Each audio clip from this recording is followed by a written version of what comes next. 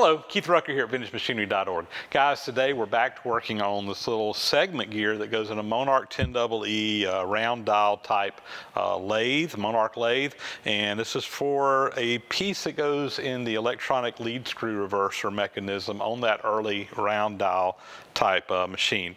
Now, previously, I've already gone in here, I have machined some stock, I have uh, turned some radiuses on it, and we are to the point that we're ready to cut the gear teeth in this. And to do that, we're gonna be using our Kearney Trecker Model 3H horizontal milling machine with a dividing head. Uh, we're gonna set it up to do a gear cutting job, and that's what we're about to do. So come join the fun and uh, watch us cut some gears. So the first step here is going to be setting up the arbor with the correct involute cutter to cut the gear profile that we need for cutting these teeth. Now an involute gear cutter is a cutter that is in the shape of the inside of that gear tooth. It needs to be cut out and removed. Uh, I've got the right cutter sitting over here. The machine is currently set up for cutting a different gear, so we need to swap out our arbor, put in the correct um, correct uh, cutter here and get all that set up. So we're going to start out by removing this uh, previous setup. We'll start by loosening this bolt. I say this every time because it's really important, but you always want to loosen a bolt on your arbors with the outboard arbor support in place. If you don't, if that's tight and you take this off first, you can get a lot of leverage going on. You can actually bend this arbor where it's not running true. So I'll just loosen that up. Next step up here is uh, we will, actually I'll tell you what we're gonna do is we're gonna uh, loosen up these. These just lock the overarm support.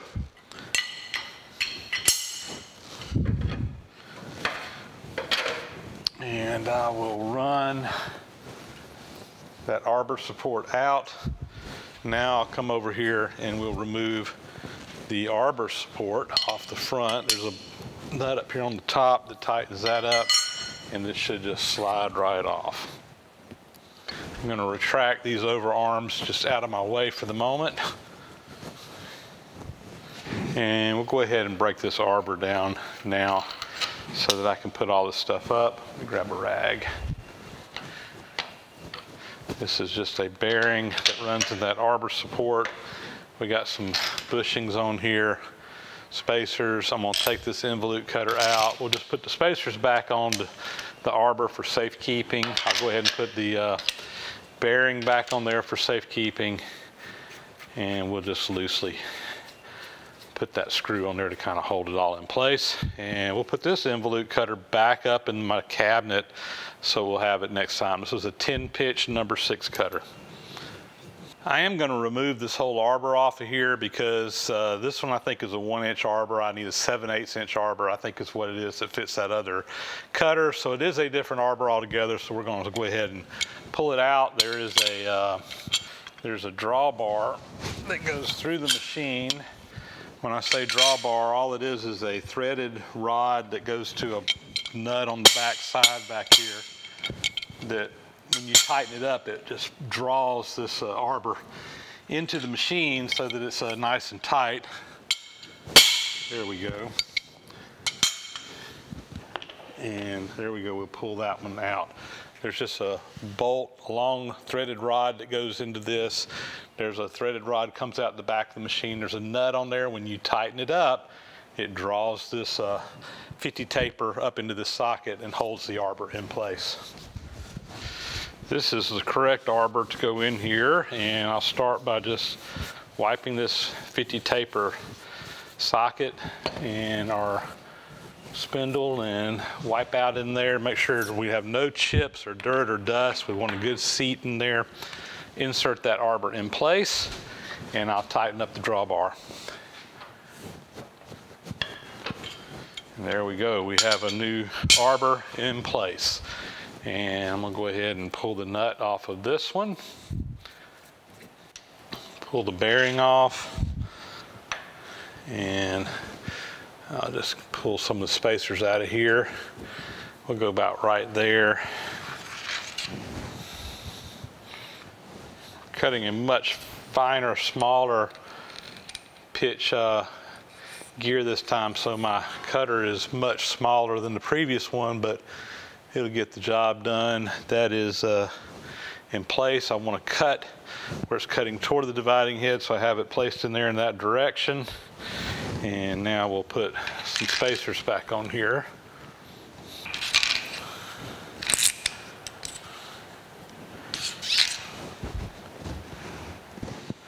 Put our bearing support there. I'm moving my bearing support in a little bit from the very end. Uh, just isn't quite as long, so I don't need all that room in there. And the closer you get the bearing support to the machine, the more rigid it is.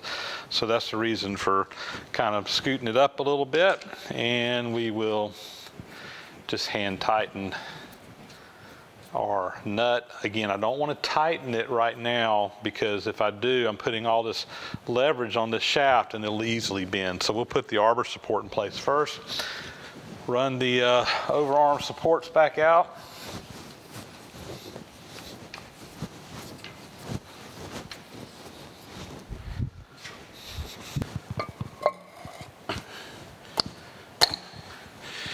Here we go, put the overarm support back on. Tighten it up on the top. Go ahead and some oil on there. I, I like to put the uh, overarm support on the top two and then pull it up onto the bearing rather than trying to uh, get all three of those to slide up at one time. It just, it works better. It's much easier to get it lined up on these two than trying to get it lined up on all three at the same time. And now I can uh, tighten up my nut on the end here, get that good and tight and we'll tighten up these uh, nuts on the top, which will just keeps this uh, overarm support from coming in and out. It'll just lock it in place. There we go. Our arbor is set up. Just a little tighter shot there. You can see it's a very small cutter. This is a, a uh, 24th, a 24 pitch. Uh, so very much smaller uh, gear than what I'm usually cutting on this machine. And, uh, but we can cut whatever size we need. We just get the right arbor and right cutter. So these are my blanks, and uh, like I said, we've already previously got these machined to the proper radius and everything. And I made a arbor to hold these while I was turning them. We're going to just turn them, or we're going to cut these gears just right here on the same arbor uh, that we had previously used. So uh, I'm going to tighten this up in the chuck.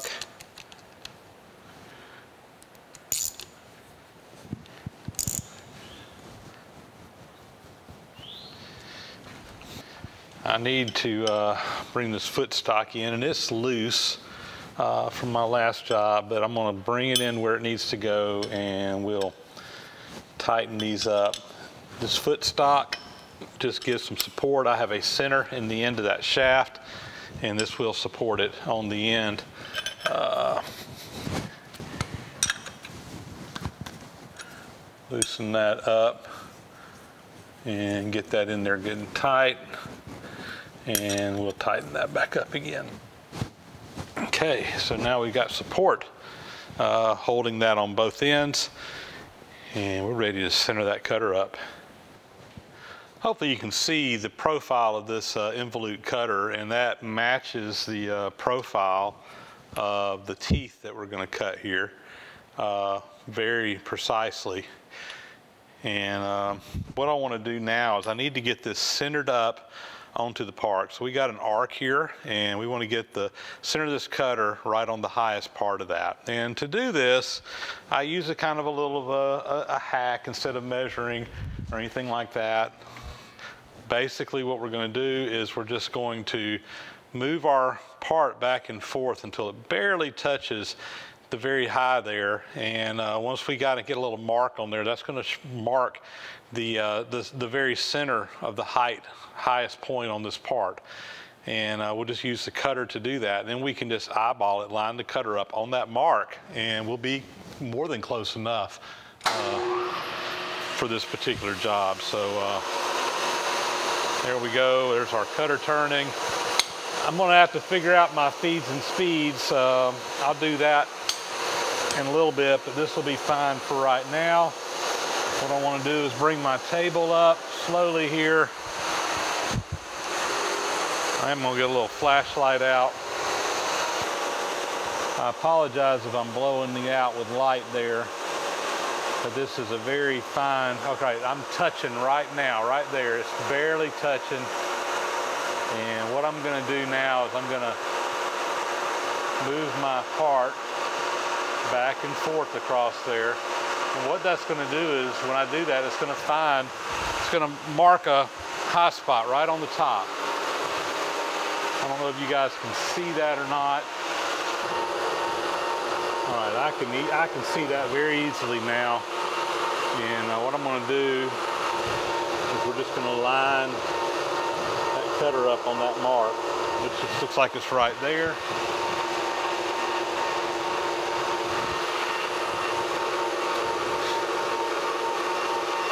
One thing I needed to make an adjustment on here, I noticed while I was running that that this bearing is a little bit tight. I can feel it. It's gotten warm to the touch. I mean, I can touch it, but it's warm. And I heard it squealing a little bit in there. There's a bronze bearing uh, that goes in here. It's a bushing, a, a, straight bushing, but it's it's in a this casting is tapered and that that bronze piece is tapered. It's split and there's a nut on the end here, and by loosening and tightening this nut, you can adjust the diameter of that but that bushing. So we need to actually loosen it up just a, a probably just a notch or two here and that'll hopefully make that run just a little bit looser and not be getting so hot. Let me make that adjustment. So I'm to loosen this uh, nut right here, our screw. It's just a screw that goes in there. If you notice this uh, ring behind it, it's just a threaded ring, but it's got notches in there, and those notches line up with that this uh, screw, and that's what you use to align it. It keeps it from turning. Let me get a spanner wrench to rotate that with a little bit. There's my spanner wrench. You see it's got a little tab in there. And see, we need to loosen this up. So I'm gonna put that in a hole. Here we go. So we'll put this spanner wrench in one of these holes. And I'm gonna loosen that up until it's, I can just kind of freely turn it.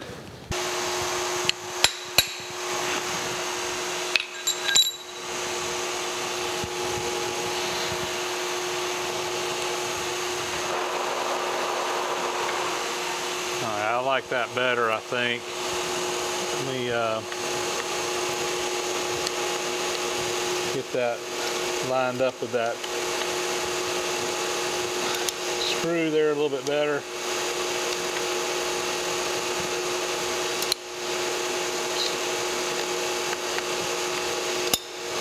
think that'll go in now.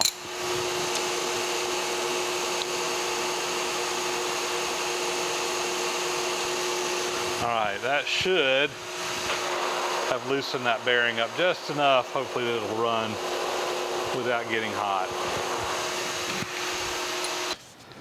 So next step is, is we need to put the right plate in here and get the dividing head set up so that we're making 78 divisions per revolution.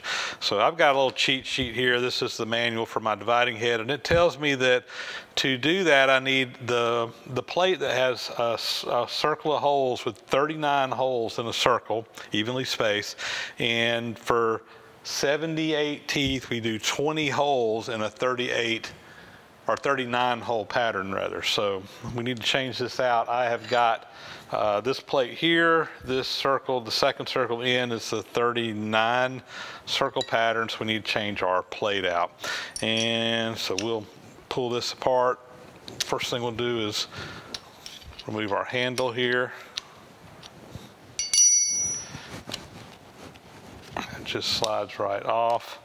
There's a uh, little retaining screw here on the bottom with a clip that holds the uh, sector in, the dividing sector to will help you get the right number of holes. We'll pull that out. We'll loosen this ring up on the outside. There's now three screws here that holds that plate in place. We'll remove those.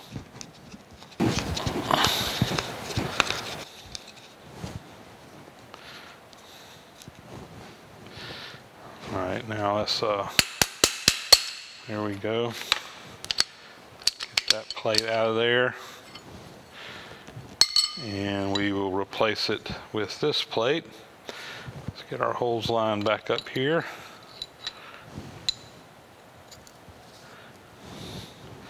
And put our screws back in. There, it's lined up now.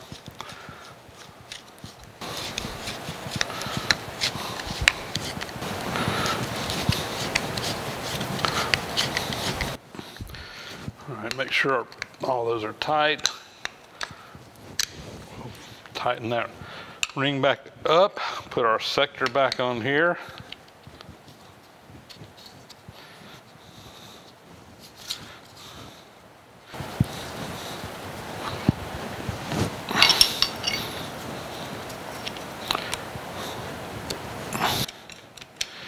Now I'm gonna loosen up this piece, we get it into the right pin. So we'll just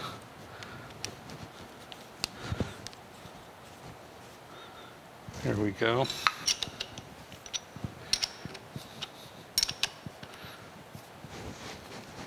Okay. Just making sure it's engaging in the pins all the way around, and it is. And we will now adjust that for 20 uh, holes. Uh, there's a little screw over here. I'm gonna loosen up. I will put that one on the pin up top. And what I'm gonna do is I'm gonna count 20 holes. That's one, two, three, four, five, six, seven, eight, 18, 19, 20 right there. And we'll pull this back piece around to that. And that's just a little cheat to help you um, get things lined up each time so that you can um, easily find your 20 holes without having to manually count them out every time. So let me come back around to where we were. That's where we're starting from. And I'm just going to confirm that I got 20 holes. One, two, three, 19, 20. And there we go. So what we'll do is when we're coming around, each time I'll pull out and I will go until it comes to that little spacer that we put in. We can then slide this around, go to the next one, and that way I can easily count off my 20 holes for each tooth. Okay? So let's talk speeds and feeds. Uh, we've got a high-speed steel cutter. We're cutting soft cast iron. Uh, according to, I got a little feed and speed calculator here that I'll use to, to do this math. Uh, you can find these online. There's actually apps you can put on your phone that'll calculate the same thing. Uh, according to this, for soft cast iron, my cutter speed should be between 100 and 120 feet per minute. So that's the, the speed of the outside diameter. Now I've measured the diameter of this cutter, it's an inch and three quarter, and I can use my little calculator here. Let me see, I'm gonna put in my cutter diameter. All right, I put in my cutter diameter at an inch and a quarter right here. My surface speed that I'm shooting for is between 100 and 120. So it's reading right here that my RPMs need to be about 250 RPMs. Now I've looked over here on my machine and the closest one I've got is 214 RPMs or 276. I'm gonna be on the conservative side, I'm gonna go with 214 RPMs. It's gonna be close to what it calculates out. Now the next thing we need to look at is our feed rate. And again, we can I can look over here and it tells me for cast iron that we should be making between 10 and 30 thousandths uh, feed per tooth. So every cut, every tooth on here should be cutting between um, a, a 10 thousandths and 30 thousandths of an inch.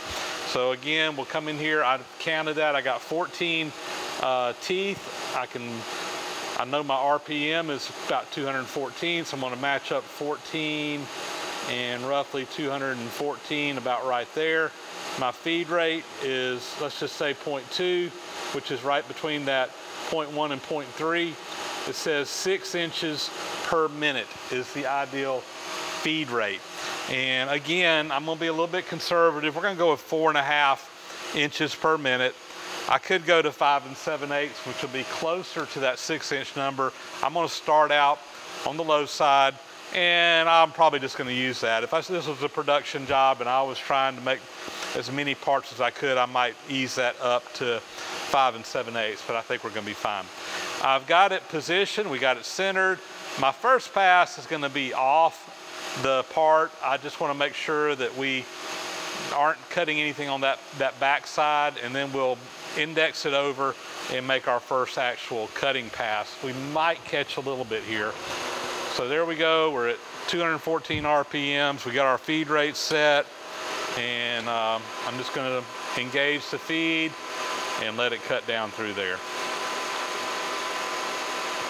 I don't think it's even gonna touch here. It may barely skim. I saw a chip or two come off of there, so we're probably wise in making this first cut.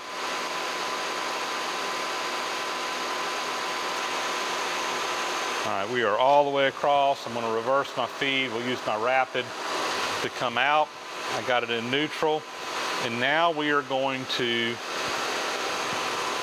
index our part for the first increment. And we'll make another pass.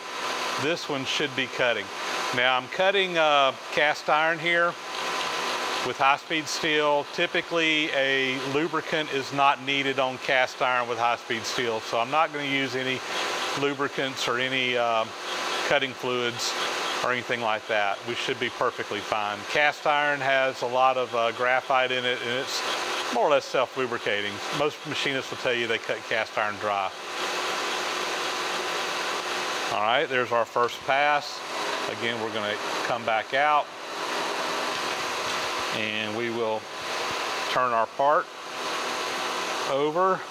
20 holes on this plate which is right there. Lock our dividing head down and make another pass through there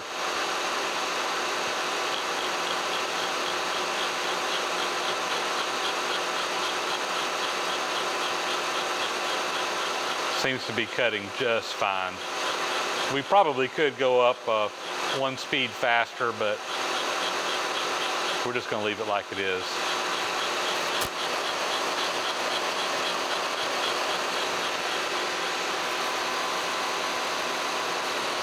we're through cutting.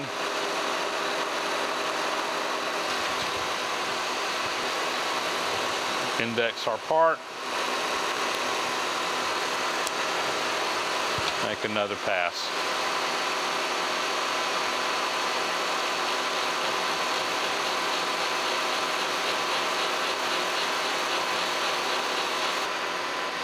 Now one thing that I'll note here is that uh, with this part that we're cutting, you know, we're only cutting on one side.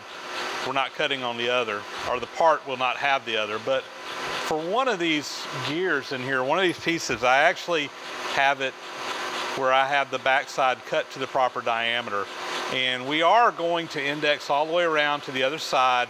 We're gonna cut the teeth on that other side um, and just like it was a round gear. And the only reason we're doing that is, is we won't be using that side, but I need to do that so that I can make a measurement. When you measure these gear teeth, you measure across 180 degrees apart. So uh, on one of those blanks, we will be cutting all the way around. And that's strictly to make our measurement. Again, if this was a production job, once we got the first one set, we could just go in here and, and go to town cutting but that's the reason. And I need to keep everything indexed, so I will index each tooth just like I was cutting it when I'm rotating around. Uh, but we won't actually cut anything on all these blank ones through here. We'll just uh, go 22, 20 places on the dividing head and, uh, and just keep doing that over and over until we get around because we're gonna have to come back right down the exact same teeth to make our final pass once we uh, get our measurement that we're after. All right, we can probably do one more cut here and then we'll be ready to go around to the other side. This one should be the last one, and it's probably only going to be a partial cut.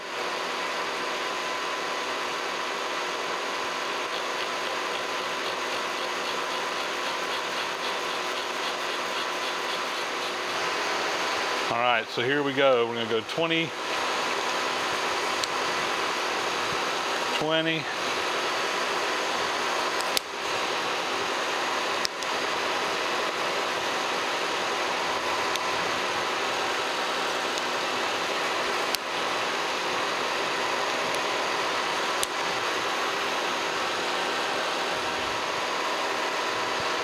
we're getting close.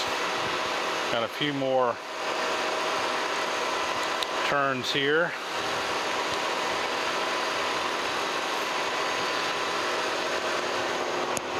All right, we're getting real close. Uh, let's see if this is going to. That one there is going to be really close. I'm not sure if we need it, but we're going to go ahead and cut it. And uh, that'll we'll basically start from there and cut across these. I hear it barely touching that tooth.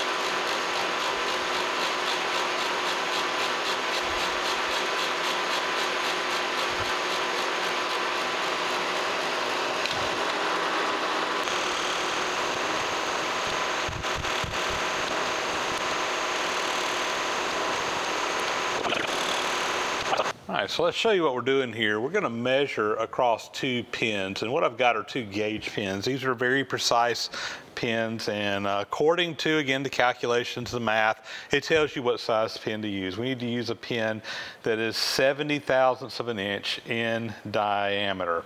So uh, from that, what we wanna do is we wanna measure directly across from one another. So I've got a second pin that goes in between those uh, gear teeth down on the bottom side. I know you can't see that in the screen, but trust me, I've already figured out which tooth is directly apart from it.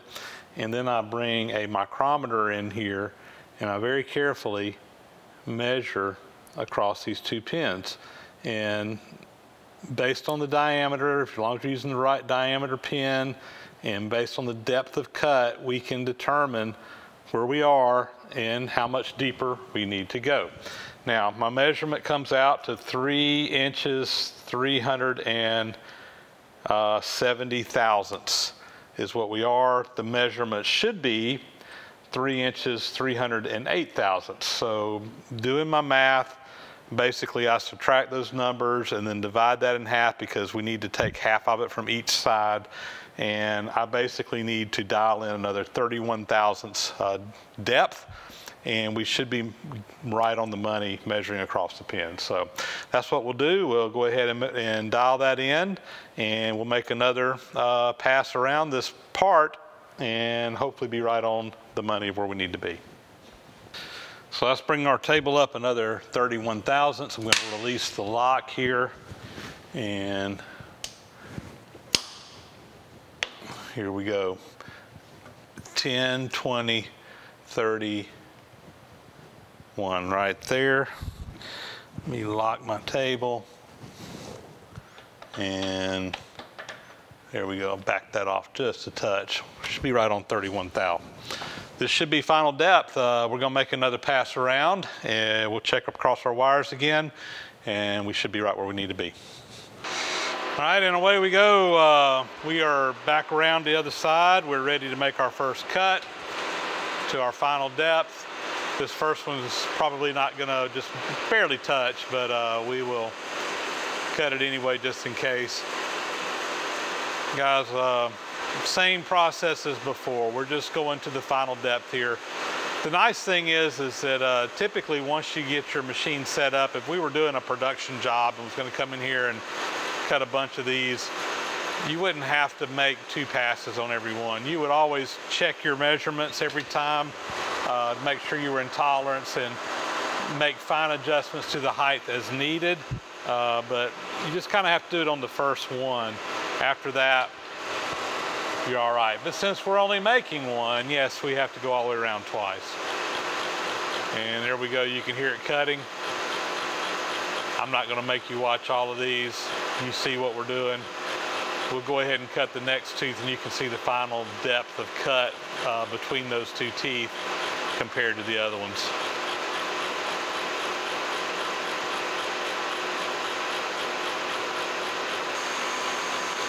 One thing I will comment on here because I'm sure someone's going to make a comment about it is is uh, that you say, well, that cutter's not running true. You can hear it kind of bump, bump, bump, bump, bump as it's cutting around.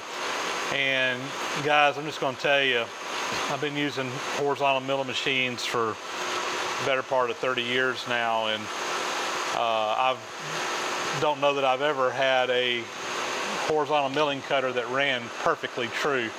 Between the the bore and the cutter and the, and the, the teeth and the, the anywhere in your machine, the spindle, the outboard bearing, everything else, there's always going to be, you know, where it's, it's not making a perfect circle.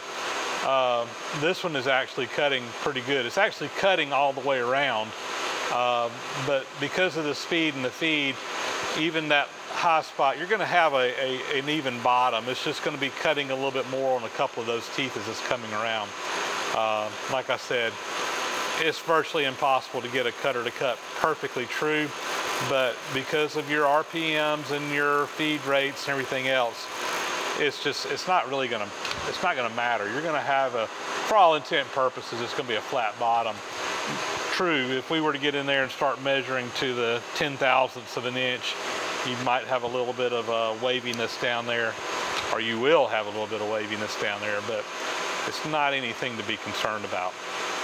So anyway, we're almost through this, uh, the first half. We'll turn it around the other half, get our measurements, double check everything, and uh, we should be good to go. All right, we got our pins in here again and we're measuring across them just like we did before.